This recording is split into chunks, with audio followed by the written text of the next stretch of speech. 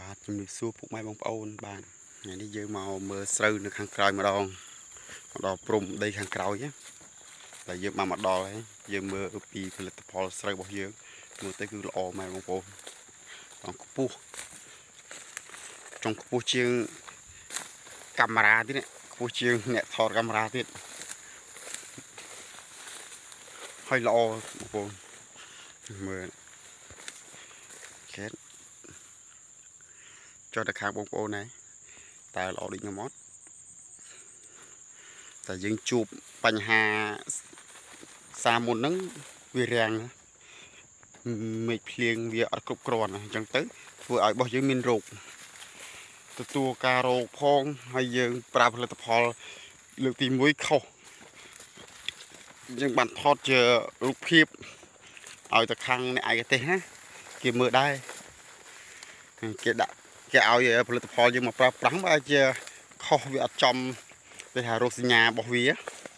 គឺធ្វើឲ្យទិន្នផលស្រូវយើងឬក៏ស្រូវយើងនឹងវារៀងអន់ហើយយើងក៏ប្រូវិធីសាស្ត្រដាក់ថ្មីទៅក៏ត្រូវ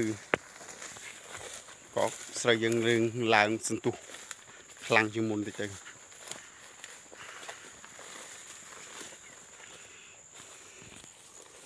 ឆ្នាំនេះខុសពីឆ្នាំមុនឆ្នាំមុនយើង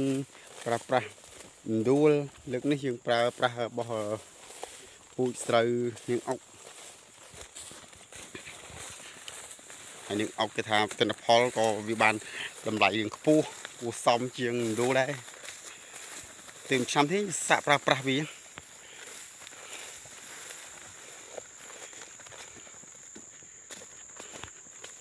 ហើយស្មៅដែរឆ្នាំនេះស្មៅជាងឆ្នាំមុនឆ្ងាយណាបងប្អូន ឆ្នាំមុន ខាងខ្ញុំធ្វើអត់សូវមានស្មៅចឹងទេបងប្អូនដើរទៅស្លាស់ច្រេះអត់មានថាអូមានស្មៅអីតាមអីដីអីអត់ទេតែឆ្នាំនេះស្មៅឡើងច្រើនណាស់បងប្អូនឬក៏មកពីក្របស្រូវយើងបេស្រូវយើងអត់បានផ្លុំណា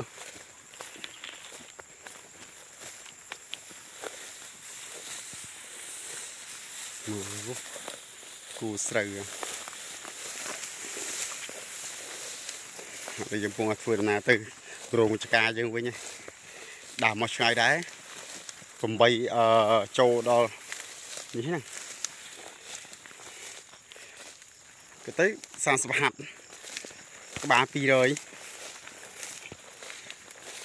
ពីមុខដកក្រោយជ្រៅដែរហ្នឹង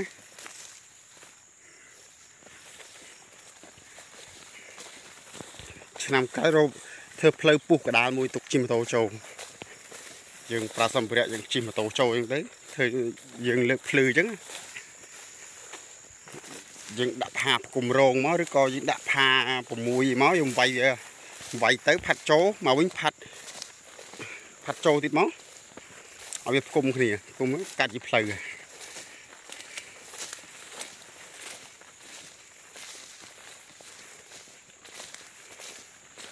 ចាហត់គួសមឯតា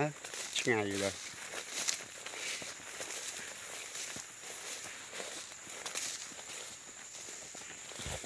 បាទវីដេអូរបស់ខ្ញុំមានតែប៉ុណ្្នឹងទេចែកម្លែកដល់បងប្អូនទាំងអស់គ្នានៅក្នុងបណ្ដាញសង្គម YouTube ទាំងអស់គ្នាបាទបាទចង់ថាចែកម្លែកបទពិសោធន៍និងដំណាំផលដំណាំស្រូវ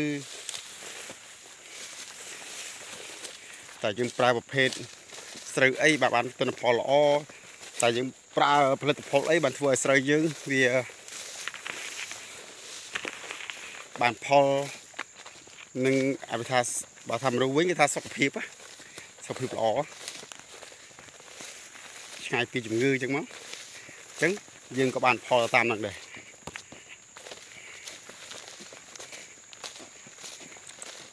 ហើយបើបងប្អូនមានដូចជាលក្ខណៈថាមានបទពិសោធន៍ច្រើនជាងប្អូនឬក៏ការធ្លាប់ធ្វើមុនប្អូនអញ្ចឹងទៅអាចដល់ជាលក្ខណៈ comment ជួយណែនាំ បងប្រើផលិតផលនេះឬក៏ផលិតផលណាដែលយើងអាចប្រាស់ប្រាស់ទៅបានទិន្នផលច្រើនជាងនឹងទៀតបាទអញ្ចឹងយើងចែករំលែកទាំងអស់គ្នាអញ្ចឹងណា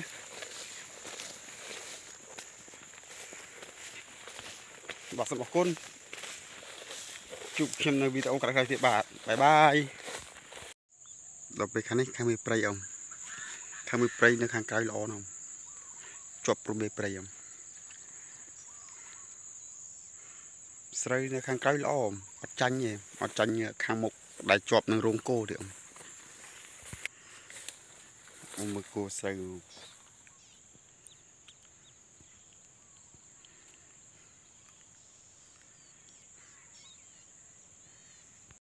បាទសម្រាប់វីដេអូមានតែប៉ុណ្្នឹងទេ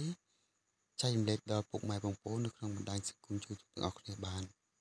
ហើយស្រូវខ្ញុំបាទនេះប្រភេទស្រូវនឹងអុក ទើបដាក់ឆ្នាំនឹងដែរទេអញ្ចឹងលទ្ធផលវា គឺបានដែលឃើញយើងឃើញជាក់ស្ដែងតាមនឹងដែរបាទសូមជួយចុច Subscribe ឬរូបកណ្ដឹង សម្រាប់វីដេអូខ្ញុំបាទផងខ្ញុំនឹងយកវីដេអូថ្មីៗល្អល្អចែកជូនដល់ពុកម៉ែបងប្អូនទាំងអស់គ្នាដែរបាទសូមអរគុណជួបខ្ញុំនៅវីដេអូក្រោយៗទៀតបាយបាយ